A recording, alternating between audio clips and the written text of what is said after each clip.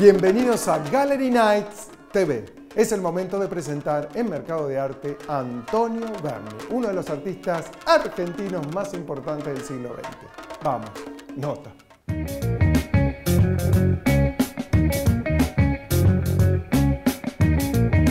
Hola, ¿cómo están? Hoy vamos a hablar de Antonio Berni, uno de los artistas más importantes que tuvo la Argentina.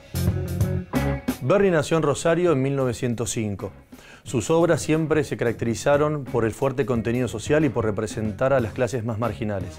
Fue un artista dispuesto a experimentar con distintas técnicas como el gofrado, el collage, la pintura y el dibujo.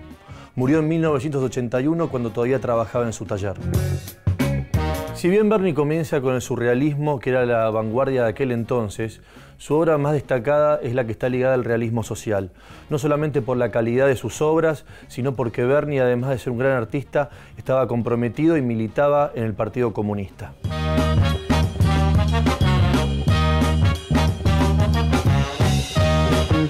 Otra de las técnicas que desarrolló Berni fue la del gofrado, que es básicamente un grabado con relieve. En el año 1962 gana con esta técnica el primer premio en la Bienal de Venecia de dibujo y grabado. Esto le marcó a Berni una trayectoria internacional y un reconocimiento. Fue el primer argentino en lograr este galardón, lo siguieron Le Parc y León Ferrari.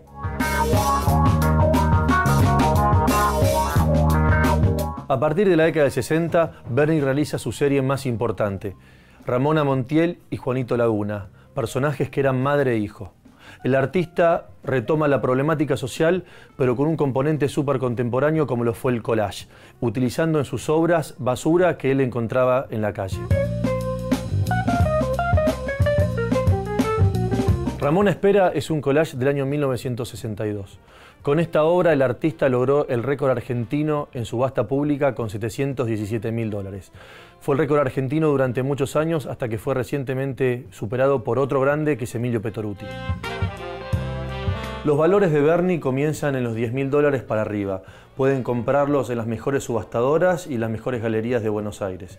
Si quieren ver y disfrutar, pueden ir al Museo Nacional de Bellas Artes o al Malva, que tienen mucha obra y diferentes periodos del artista. Espero que les haya gustado y nos vemos la semana que viene con más Mercado de Arte. Chau.